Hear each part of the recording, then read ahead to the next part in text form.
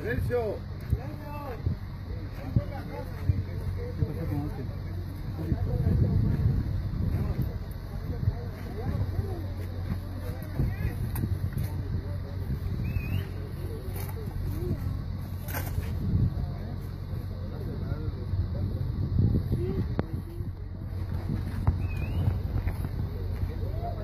Es muy riesgoso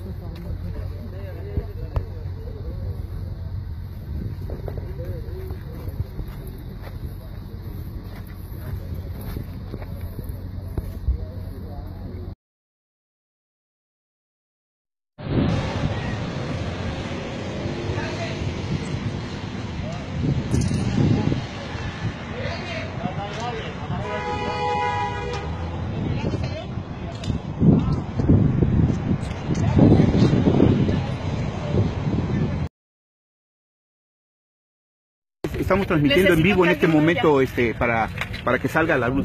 ¿Qué problemas estamos presentando en este momento Mira, hasta ahorita yo no puedo decir nada concreto.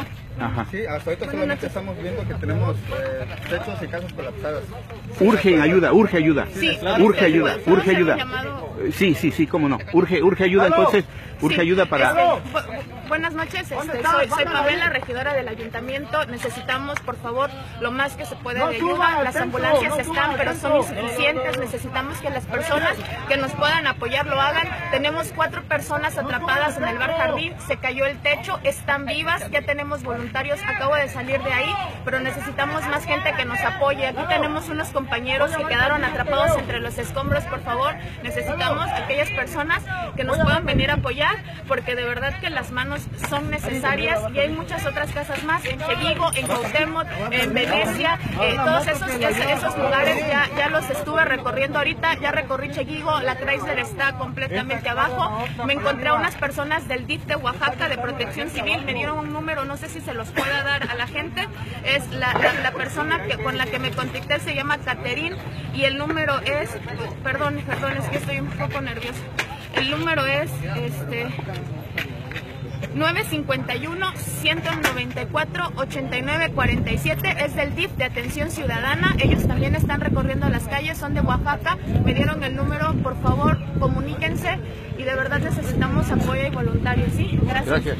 Bueno, pues de esta manera estamos nosotros transmitiendo para Cortamortaja TV de esta, este temblor de magnitud sumamente fuerte devastó gran parte de la ciudad de Cuchitán, buena, buen, un buen número de, de- viviendas, sobre todo la- las casas antiguas se vinieron abajo. En todas las direcciones, en todas las, en todas las secciones de la ciudad hay, hay, este, hay varias, varias casas colapsadas completamente. Nos reportan que hay, este, hay, hay personas que se encuentran atrapadas. Nos reportan también eh, fugas de gas, nos reportan también eh, incendios, nos reportan, nos reportan muchas cosas.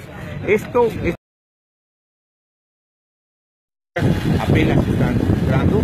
Nosotros hacemos un llamado pueblos circunvecinos que se encuentran en esta, en esta región que no hayan sufrido daño, que manden apoyo para Cuchitán, que manden ayuda para Cuchitán.